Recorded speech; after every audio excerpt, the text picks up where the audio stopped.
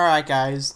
Um, this part of the series uh, will be focusing on the co ability, Dragon Haste. Um, the one thing I will say about Dragon Haste is that it is not mandatory. You are able to live without Dragon Haste, because of the um, free to play uh, uh Wyrmprint. Um, it's that um like bottle vase uh, looking thing. You can use three of those in place of Dragon Haste. However, just if you have three of those and Dragon Haste, you are guaranteed to get off three Dragon transformations within the one minute, as long as as long as your other three can remain alive as your DPS does uh, other damage. Um, as of for Dragon Haste users, um, for the fire attribute, there are only two. One of them being the main character, which is uh, free to play. Um, he does 5 to 11%, so most people have it around the 5% mark. Um, another reason why you would want to use him is because of his second uh, second second skill being the defense reduction one, which I talked about in part two. So be sure to check that out. Of, of, where, of where I talk a little more about him. But very quick or, overview of him in case if in case if you didn't see that video. Uh, 415 HP, pretty good. 278 attack, that's still pretty good.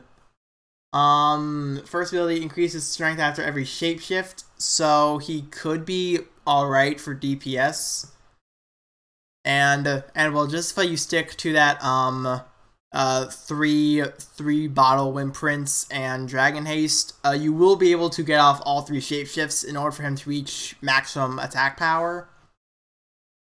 Um reduces chance of stun by up to 100% um i've said this in every video because it seems to be either stun curse or sleep with these units. Not good for this raid but could be good for a future one and increases uh, uh, player XP intake by 10 to 15%. It's nice because because you can rank up quicker and therefore use uh, less gathering restoring items, use less stamina restoring items. So he's kind of a good all-in-one type of unit. He just does everything a little bit above averagely. Um, but damage-wise, it's really his second skill that that will be doing the damage. The first skill is okay. It's eh, it's not 400, so it's only all right.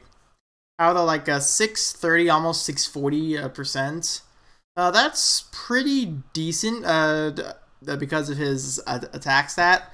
Um, I would have preferred the attack stat a little bit higher, but then he could have been uh, pretty good. But eh, sword wielders, they're nice. Sword wielders are still a very nice option. And um, that's enough about him. So let's move on to the second Dragon Haste unit, being Carl, Hero of Justice. He's got more HP and just as much attack. So, so already he's taking more hits. Uh, the first skill is pretty much exactly uh, the same. And the second skill, instead of it being a defense reduction, it's a strength buff for your entire team.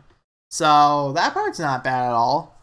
Uh, for raids, uh, this first ability right here increases strength by 4 to 5% every for every 5 enemies defeated.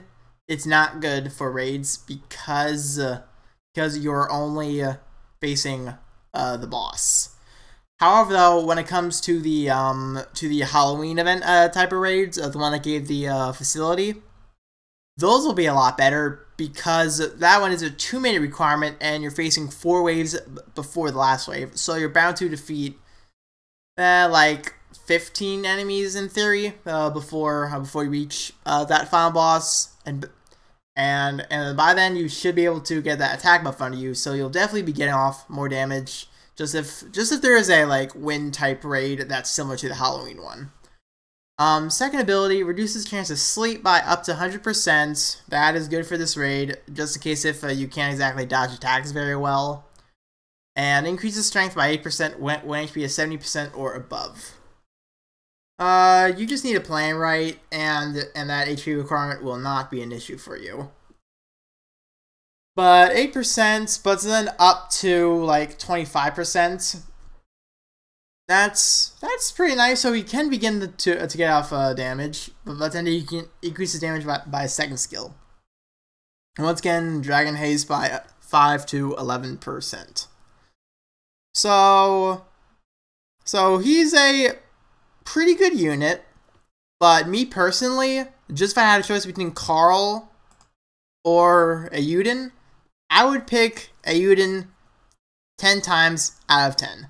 That defense that defense reduction is honestly way too good to pass up. Um, I'm also a fan of the player XP because because I get to preserve my items a little bit more, and and they have the same Dragon Haste ability. That and Euden's free to play, and I need an excuse to work up free to play units a little bit more. so that's about it for uh, the video. Uh, be sure to subscribe for the last part coming uh, tomorrow. Oh yeah, that's right. Uh, when I upload this part, it's Halloween, so happy Halloween. I can't believe I forgot about that. God damn it. So, so happy Halloween. Uh, be sure to subscribe for that last part, and probably by now, hopefully, um, there should be uh, the Baron units have been leaked. I will do a video on that the day after I uploaded the last part of this, so I will be late when it comes to uh, the units, but don't worry about it. Don't worry, I will cover it and uh, and also be sure to to cover uh, the raid. Um, I also have some fun plans uh, for some videos, so be sure to uh, subscribe in order to keep up to date with those. Um, I also posted the videos in the Discord server down below uh, whenever I upload them, so be sure to join that up, and and be sure to drop a like just if uh, this helped you, and and until tomorrow, peace.